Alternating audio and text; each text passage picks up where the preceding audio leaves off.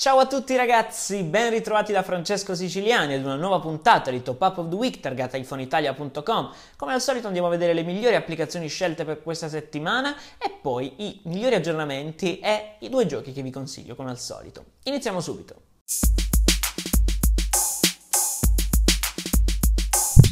Ben ritrovati ragazzi, eccoci qui con una nuova puntata di Top Up of the Week. Allora iniziamo dalla prima applicazione che vi presento questa settimana, parliamo di Airmail. Airmail è un client di posta molto popolare su Mac che adesso è disponibile anche su iPhone, un client davvero molto molto interessante, pieno di funzionalità comode, di tool e di integrazione con servizi di terze parti. Allora avremo a disposizione tutti gli strumenti classici per la gestione di una o molte più caselle postali, avremo la possibilità possibilità di gestire al meglio tutti i nostri account mail, di poter gestire le firme, di poter gestire l'organizzazione, le cartelle, i filtri, la ricerca, insomma tutte le opzioni che ci potranno servire. Avremo la possibilità di sincronizzare il tutto con iCloud con l'applicazione per Mac, avremo la possibilità di gestire al meglio tutta l'interfaccia anche da Apple Watch perché ci sono delle opzioni comodissime al polso se abbiamo un Apple Watch, ci sono delle scorciatoie per il 3D Touch per i nuovi iPhone, eh, si parla di un'applicazione comunque di, con una grafica e con un'interfaccia molto molto semplice, intuitiva e comoda che sicuramente può essere un'ottima alternativa a molte altre applicazioni di mail, soprattutto a quella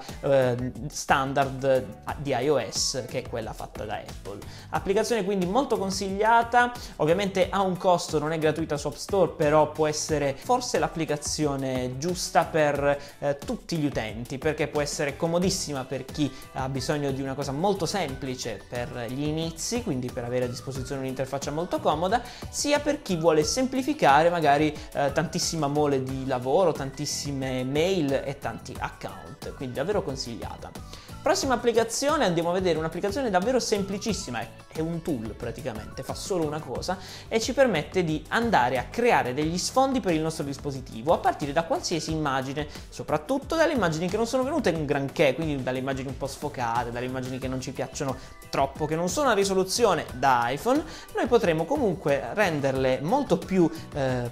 godibili, molto più fruibili sul dispositivo perché utilizziamo un fattore di sfocatura, sfochiamo l'immagine e utilizziamo l'immagine come un bel background, eh, tra virgolette, blurred per il nostro dispositivo, per le nostre icone, magari da utilizzare forse solo nella schermata home, non nella schermata di blocco perché comunque parliamo di una foto sfocata, però può essere davvero un'ottima cosa, soprattutto se abbiamo foto molto colorate. Passiamo alla prossima applicazione, applicazione molto utile per chi tiene alla salute, per chi vuole avere sempre a disposizione disposizione un prontuario di eh, centrifugati eh, ottimi per determinate esigenze, quindi magari un centrifugato eh, energizzante oppure per, per, potersi depurare, per poter, insomma varie opzioni a disposizione con tutte le informazioni, i valori nutrizionali, le ricette, i frutti e le verdure che servono,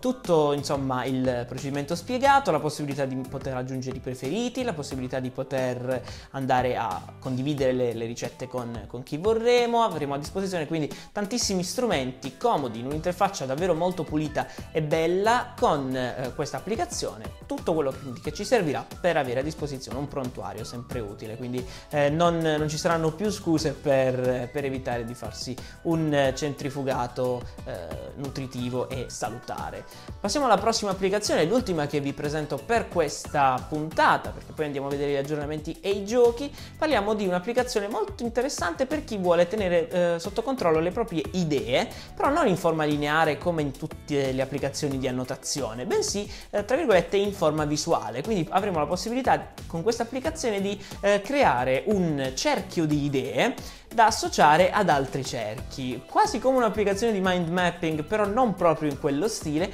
avremo la possibilità qui di inserire tutte le nostre idee e vari link contrassegnati da altri cerchi al cerchio principale che ovviamente è il nostro progetto. Quindi potremo aggiungere una nota, un link a una pagina web, un'applicazione, un contenuto di uno store, insomma avremo a disposizione tantissime opzioni, aggiungere un'immagine, eh, poter aggiungere un, un qualsiasi tipo di contenuto tra quelli disponibili e poter andare quindi a creare dei taccuini taccuini, tra virgolette, eh, visuali e interattivi per le nostre idee, le nostre note. Sicuramente un metodo molto più creativo e più divertente di andare a gestire le note e le idee. Va bene, quindi andiamo a vedere le applicazioni che si sono aggiornate per questa settimana Si aggiornano OnePassword, Just Eat, TripAdvisor, Twitter, Music Match, Dropbox, Skype e Messenger. Passiamo quindi adesso ai due giochi di cui volevo parlarvi in questa puntata. Allora, il primo è molto interessante, parla di un mondo post-apocalittico, è un secondo capitolo di un gioco davvero molto famoso e si chiama The Silent Age e il secondo si chiama Shadowblade Reload ed è un platformer action